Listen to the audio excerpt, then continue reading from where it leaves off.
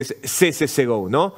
Bueno, ahora sí me voy a, voy a cambiar de tema, la tengo a la doctora, así la voy a presentar por ahora, eh, y vamos a entrar a hablar un poco sobre, sobre una situación que es bastante particular, ¿no? Silvina Sánchez es odontóloga y ella hace un trabajo increíble a partir de que trabaja con niños que padecen diferentes discapacidades, eh, discapacidades perdón, eh, y que muchas veces pueden ser, lamentablemente, no atendidos por, quizás por colegas porque no se sienten capacitados, ¿no? buen día, Silvina, ¿cómo andas? ¿Todo bien? Hola, Leo. Buen día, buen día a toda la audiencia y Gracias por la invitación. No, gracias a vos por, estar aquí con nosotros. Eh, me, parece que, eh, tu función, ¿no? En, cuanto a la atención a chicos con diferentes capacidades, eh, está bueno que la gente conozca también, sobre todo si, a ver, yo soy papá, tengo un hijo que quizás, no sé, padece autismo. A veces también tenemos miedo de llevarlo a, quizás a nuestros hijos con, un médico, independientemente la rama de la medicina, ¿no? Porque no sabemos cómo lo puede recibir o cómo lo puede tratar, ¿no? ¿Cómo, llegaste a esto vos también? Eh, mira, te cuento. Eh, yo comencé con esta especialidad sí, que hace aproximadamente 15 años. Sí. Eh, general, por eh, interiorizarme en el tema con papá, que mm, no podía seguir el consulta odontológica de los chicos, sea que eh, los odontólogos en general no se sentían capacitados para atenderlos. Entonces, eh, lamentablemente iban pasando de consultorio en consultorio sin recibir una atención adecuada. Sí. Eh, eh, yo también tuve una nenita con discapacidad y gracias a eso pude estudiar, hablar con muchos papás, hacer capacitaciones, cursos. y bueno, por eso estoy hoy, por suerte, pudiendo ayudar a muchas familias, a muchos papás eh, a recibir esa atención adecuada para los chicos. Silvina, a ver, por ejemplo, eh, un caso en particular, eh, un niño con autismo, ¿cómo, cómo se lo trata o, cómo lo, lo, permeabilizás a él para que esté tranquilo o a ella para que esté tranquila y, vos puedas atenderlo, ¿no? Porque, a ver, hay que abrir la boca. Yo que tengo 40 años voy al, al odontólogo y estoy así, mirá. Si no me, antes que me vea a mí la odontóloga, me tiene que poner la, una inyección, la, ¿cómo se llama esto? La anestesia, porque no ni me siento, imagínate. ¿Cómo es manejar esa situación? Imagínate, a ver, eh, un niño con autismo de por sí, eh, un niño en general que entra al consultorio odontológico cuando viene por primera vez y ve todo nuevo, desde la persona que lo recibe, eh, los colores, los olores, los ruidos, los niños con trastorno del espectro autista, con TEA, eh, tienen muy desarrollado todos estos este, parámetros de los ruidos, los olores, entonces les cuesta muchísimo, muchísimo más eh, la motivación para poder lograr sentarse en el sillón, abrir la boca. Sí. Bueno, hay diferentes este, alternativas para trabajar con ellos. Eh, primero, como yo digo, es la empatía de, o sea, yo me pongo en el lugar de ese niño y digo, a ver, entro por primera vez a un lugar desconocido, con tantas cosas nuevas, entonces tengo que ir de a poquito. Eh, se le muestra todo al niño, se conversa mucho, primero por supuesto se conversa con los papás, se hace un análisis de la situación en general, eh, la música ayuda muchísimo, ¿Ah, eh, pongo música, los tranquiliza un montón, tengo juguetes, este, tengo muñecos, Sí.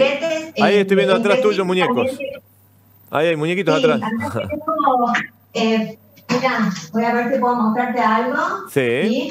Dale, tranquila. Eh, no sé si se ve. Sí, perfectamente. Eh, o sea, es un juego.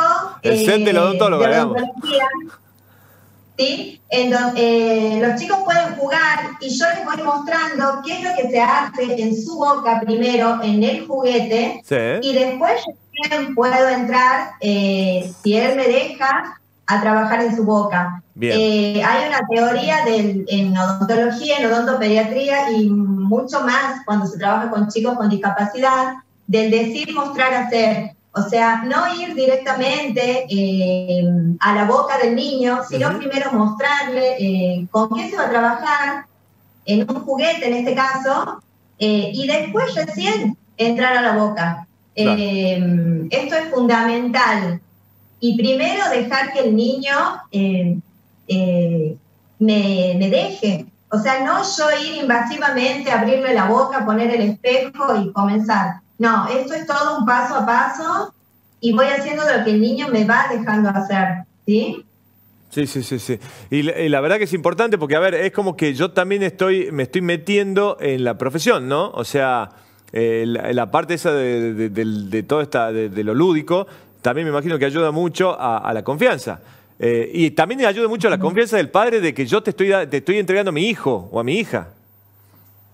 Así es. Eh, bueno, yo podría contar miles de historias de papás que vienen muy angustiados eh, por diferentes situaciones y que a veces me llegaron a decir, prefería que le duela mm. eh, o dejé que le duela porque eh, sentí mucha angustia al no poder tener una atención odontológica adecuada. Entonces se iban frustrados a la casa y decían, bueno, a ver, lo voy a medicar, voy a ver cómo hago para solucionar esto, pero con el miedo de volver a la consulta odontológica por malas experiencias. Así que bueno, em, yo lo que, el mensaje que les puedo dar a los papás que tienen niños con discapacidad, ya sea autismo, síndrome de Down, eh, alteraciones en el neurodesarrollo, que hay muchísimas, este, que, que no se desanimen y que busquen la atención eh, odontológica adecuada para ese niño. Eh, contá a quiénes podés atender o dale un poquito de aliento también, porque es importante.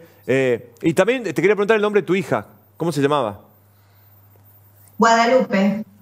Eh, bueno, mi hija nació con una discapacidad eh, muy avanzada y bueno, falleció, pero bueno, yo como siempre digo, ella fue la que me alentó a, hacer esto y, también me ayuda mucho a, motivar a los papás porque al, haber vivido yo experiencias con ella, eh, puedo compartirle experiencias propias y puedo alentarlos de alguna manera a que no se den por vencidos, porque en el área de discapacidad lamentablemente hay muchísimas deficiencias eh, en cuanto a obras sociales, eh, bueno, diferentes... Diferentes trabas, eh, lamentablemente.